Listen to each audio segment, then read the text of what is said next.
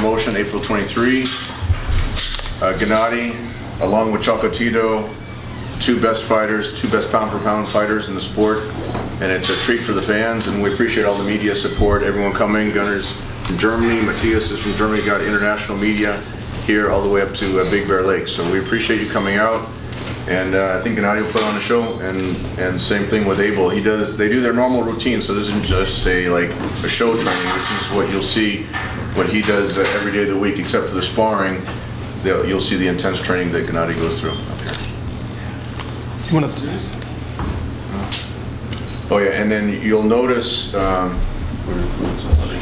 you'll notice that um, Gennady's wearing Jordan, so we just, uh, we just uh, finalized the deal uh, for Gennady with uh, Jordan Brand, so he's an official Jordan athlete now, and uh, can answer some questions about that. He's been to- to uh, Portland twice uh, to visit the offices of uh, Jordan. He's always been a huge fan of the Jordan brand, and uh, maybe Gennady, you can explain a few things when we were up there, and then, you know, when you would watch TV with the basketball players, Jordan.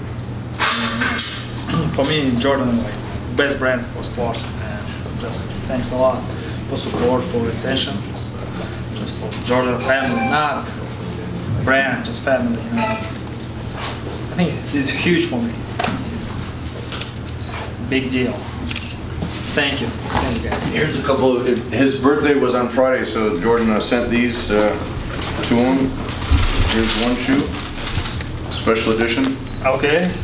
has the Kazakh flag on the inside for, Oh, yeah, uh, yeah.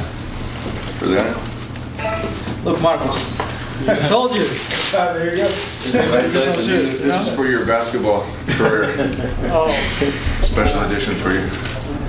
thank you. You ne- never saw them before? Well, no, So these shoes have the uh, Kazakh flag on the inside.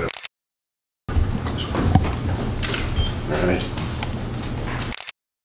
His twin brother, Maxim Golovkin, is uh, about 15 minutes younger than uh, Gennady. And that's how, uh, if you, if you know the story, Max was also a very good amateur, and they would always meet in the tournaments together because they were the same weight. So because Gennady was the older brother, he was chosen to go, go ahead with his professional career, and Max stayed home with his parents in Kazakhstan to take care of his parents, while Gennady went to Germany to pursue his, uh, you know, he went to the Olympics and won the silver medal, and then went to Germany and started, and turned professional in Germany.